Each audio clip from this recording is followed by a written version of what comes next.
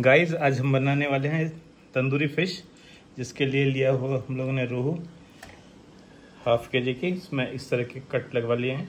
और पूरा एकदम क्लीन है, अंदर से बाहर से। मैरिनेशन के लिए हमने लिया है लहसुन अदरक का पेस्ट इसमें हम हल्दी मिक्स करेंगे। गरम मसाला। रेड चिली पाउडर सिंधो नमक नॉर्मल सॉल्ट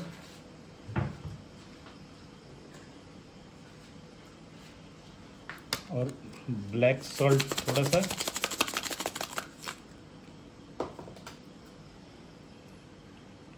और लेमन जूस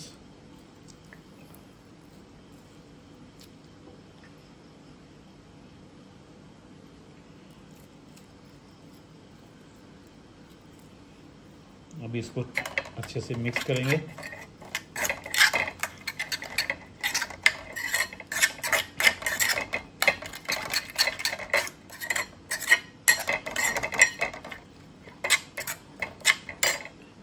और धनिया पाउडर थोड़ा रह गया था, धनिया पाउडर भी मिक्स करेंगे।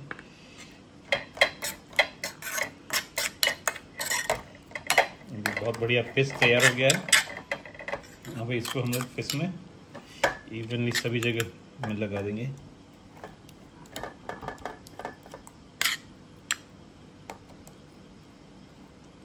पूरा कट्स के अंदर जाना चाहिए।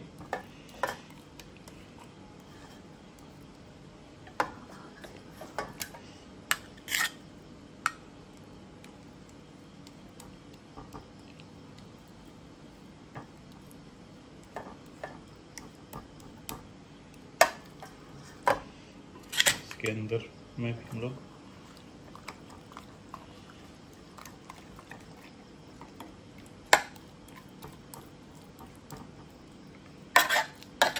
देखिए क्या बढ़िया सा सारा मसाला लग गया है। और इसे हम लोग हाफ़ एन आवर के लिए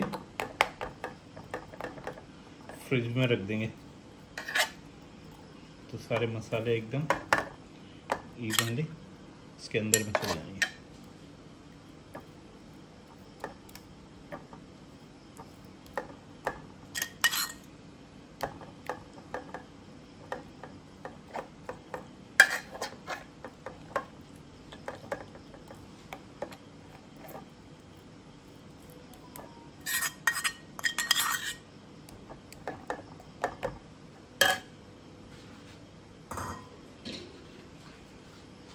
देखिए, एकदम बहुत बढ़िया मसाले अंदर तक जा चुके हैं। अब इसको हम लोग फ्रिज के अंदर में डाल देते हैं।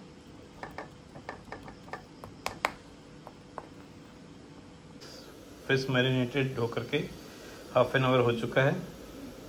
अभी हम लोगों ने इसको फ्रिज से निकाल लिया और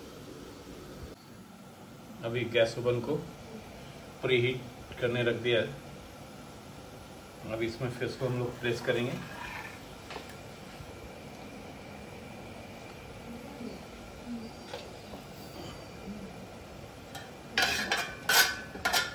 बचे हुए मसाले को इसके ऊपर में पेस्ट कर देंगे।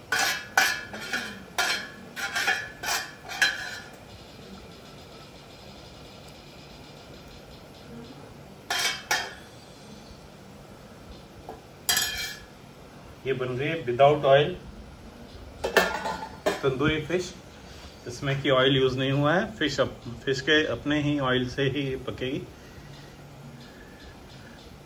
इसको हम लोग अभी बंद कर देंगे। देखिए कितना बढ़िया हो गया है तंदूरी फ़िश तंदूर में।